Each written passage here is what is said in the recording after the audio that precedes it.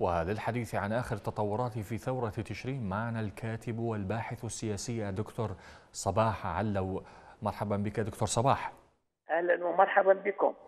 دكتور صباح بداية التظاهرات تتواصل في بغداد والمحافظات رغم القمع الحكومي ومحاولات تشويه الثورة. كيف ترى دكتور إصرار العراقيين على بلوغ أهداف ثورتهم؟ حقيقة ما يحصل في العراق هو عبارة عن ولادة جديدة لقوة شبابية متأثرة بطبيعة العملية السياسية منذ 2003 ولغاية الآن اللي أكدت المحاصصة والطائفية والنهج العائلي في إدارة الدولة واللي أدى إلى حالة الفساد الذي قد, قد يكون أصبح مشرعنا بهذا الشكل. ولذلك نلاحظ هناك إصرار حيث حاجة الخوف انتهى أمام الشبيبة والشابات الدعم الشعبي الذي يقدم لساحات التظاهر والحراك حقيقة في جميع مدن العراق. آه، أصبح آه، ظاهرة ثابتة لن تتغير وهناك إصرار كبير على تحقيق أهدافهم. ولذلك نلاحظ أن من يقود الحكومة والعملية السياسية في حالة ارتباك واضح المعالم خصوصا ولغاية اليوم باقي أكثر من يومين أو ثلاثة أيام وتنتهي المدة الدستورية في إيجاد رئيس وزراء يعقب عبد المهدي لم يتمكنوا من ذلك ولذلك نلاحظ الحراك مستمر.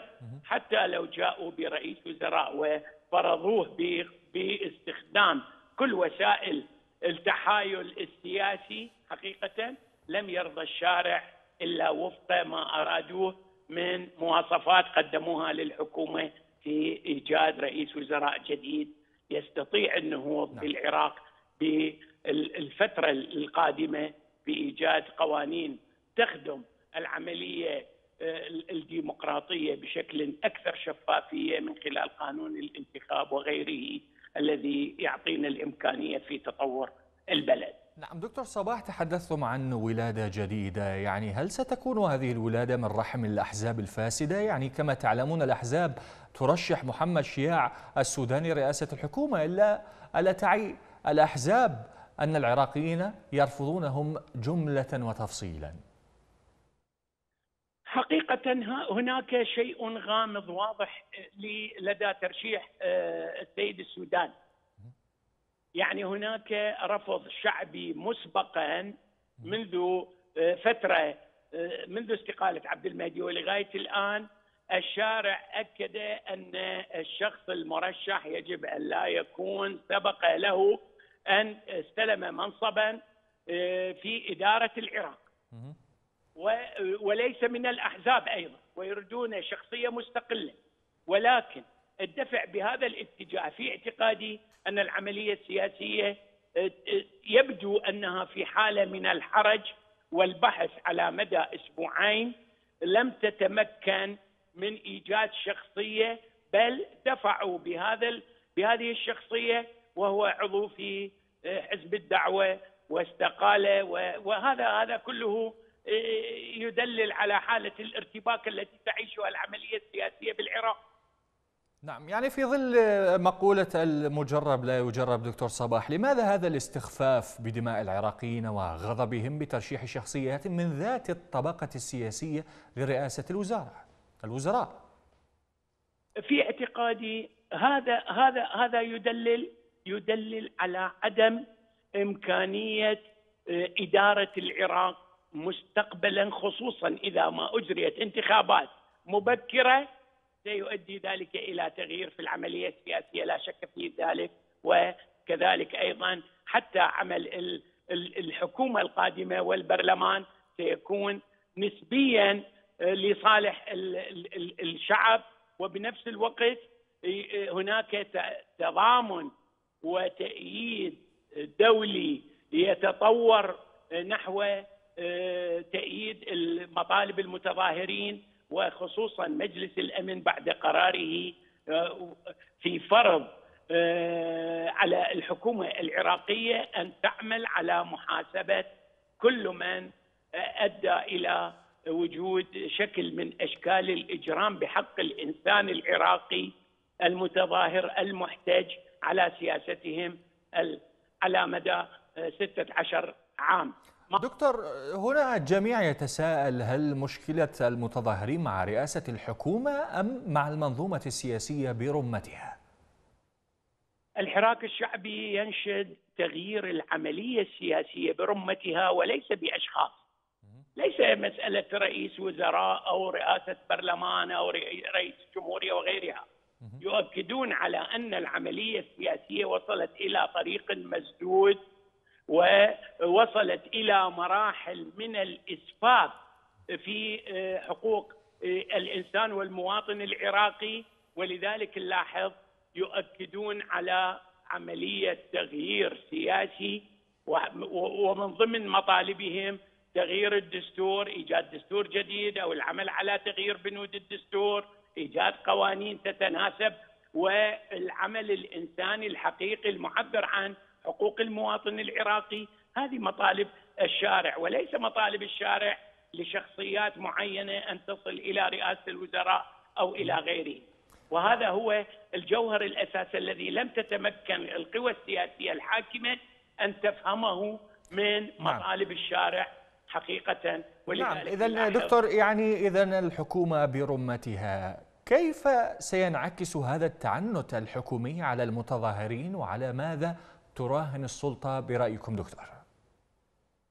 السلطات تراهن على مسألة الوقت وإمكانية أن المتظاهرين يصلون إلى مراحل من التعب أو غير ذلك أو تتقطع بهم عمليات الدعم أو غيرها ولكن الإدارة الذاتية حقيقة للمتظاهرين قوية وتزداد قوة أكثر حقيقة كل ما تزداد عمليات آه، استخدام العنف والقوة المفرطة وغير ذلك يزداد الشارع قوة ويجلب العديد من القوى الشعبية الموجودة أن تعمل على مساندته وهذا ما نشاهده في حركة الطلبة وحركة الشباب والمجتمع المدني ودعمه ببيانات كثيرة صدرت منها المحامين وكذلك أيضا نقابات العمال وغيرها في مسانده الشعب والحراك الشعبي في ساحات التظاهر بمختلف أشكالها، اذا هناك إصرار على تغيير العملية السياسية ولكن ما زالت آه، هؤلاء في حالة من حالات الاستخفاف بالمطالب ولكن الظروف تتكالب عليهم حقيقه دوليا ومن قرارات الأمم المتحدة وإجراءاتها سيؤدي ذلك إلى تغيير قادم في اعتقادي. دكتور صباح في خضم هذه البيانات والتصريحات تحالف الفتح التابع للميليشيات يؤكد تمسكه بما يقول إنه حقه في تسمية رئيس وزراء جديد، ألا ينفي هذا كل الوعود بالإصلاحات سواء من الحكومة أو من يضفي الشرعية عليها؟ حقيقه الحكومة استخدامها للقوة والأحزاب السياسية وأذرعها المسلحة بالعمل الإجرامي ضد المتظاهرين أفقدهم الشرعية. وهذا ما تؤكده كثيرا من آه، القوى الدولية وكذلك أيضا مجلس الأمن أنها فقدت الشرعية باستخدامها لعمليات الإبادة بهذه بهذه الطرق والوسائل آه، التي استخدمت في معظم مدن آه، العراق المحتج والحراك الشعبي والضحايا آه، أكثر من 600 شهيد وكذلك أيضا أكثر من 20 ألف جريح غير المعتقلين والمختطفين نلاحظ. هذا يدلل على السياسة القمعية التي مورست آه، تسقط الشرعية عن كل هذه الأحزاب والقوى من أن ترشح حقيقة أن ترشح رئيسا للوزراء يخلف السيد عادل عبد المهدي يتمكن من إدارة آه، الفترة المؤقتة اللي تتراوح بين ستة أشهر إلى سنة لإقرار القوانين الجديدة وهذا سيعطي إمكانية لامتداد حالة آه، التظاهر آه، والاحتجاج ضد العملية السياسية بالعراق. نعم دكتور صباح علو الكاتب والباحث السياسي كنت معنا شكرا لانضمامك إلينا.